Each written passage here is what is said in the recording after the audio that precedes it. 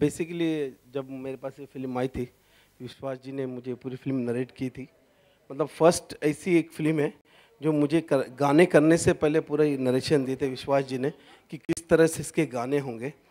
और हर गाने के पीछे मुझे रोका गया कि नहीं नहीं नहीं ये बॉलीवुड मसाला टाइप की फ़िल्म इसको थोड़ी सी अलग है कि इसको रोको। तो विश्वास जी का बहुत बड़ा हाथ है सब गानों के पीछे। और जब मैं इसके आप जब सब गाने देखेंगे तो थोड़े अलग है। ज़्यादा जैसे मैं गाने करता हूँ, झटके मटके वाले एकदम जो होते वैसे नहीं। थोड़े से इसमें हम लोगों ने कोशिश की है अलग ट्रैक। मेरे गाने नहीं है बेसिकली मैंने कोशिश की कुछ अलग करने के लिए। तो और क्या कहूँ? सब विश्वास जी का हाथ है इसमें।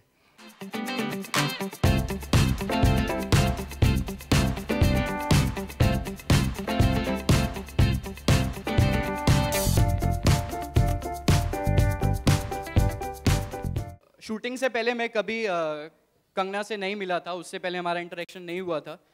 डायरेक्टली शूट के दिन मैं मिला और उससे एक दिन पहले बेसिकली सर ने मुझे बताया था कि जो सीन है, उसमें मुझे उनका गला पकड़ना है।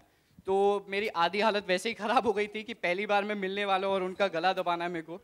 एंड जब मैं सेट पे पहुँचा तो सर ने जब मिलवाया तो उनसे बात करने के बाद लगा कि वो काफ़ी फ्री है और जब हमने शूट किया तो वो शॉट इजीली हो गया। थोड़ा सा नर्वस ज़रूर था लेकिन करने के बाद फिर इतनी अच्छी बॉन्डिंग बन गई कि आगे कभी प्रॉब्लम नहीं हुई।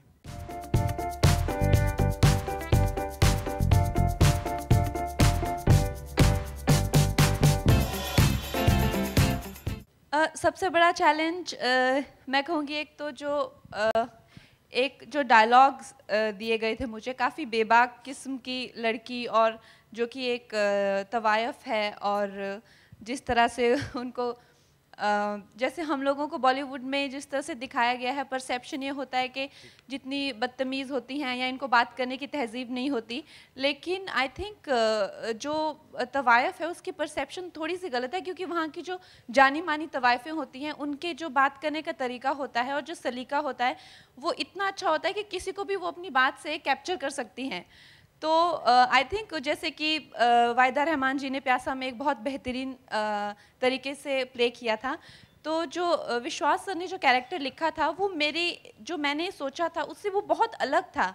इनफैक्ट उसके जो बात करने का तरीका इतनी बोल्ड uh, लाइंस इतनी नज़ाकत से कहती है वो लड़की कि आपको समझ नहीं आता है कि आप कभी गुस्सा है कि नाराज़ होना इस बात पे कि बहक जाना है।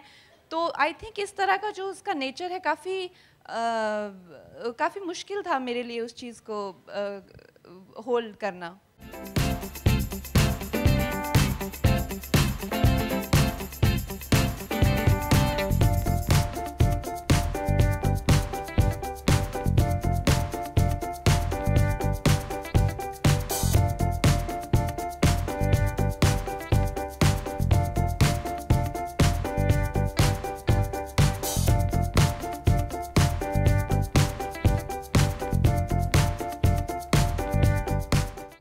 कि आज एक नया माहौल है, एक नया विचार आया है, नई पीढ़ी आई है, उस पीढ़ी के साथ हमारे को चलना होगा।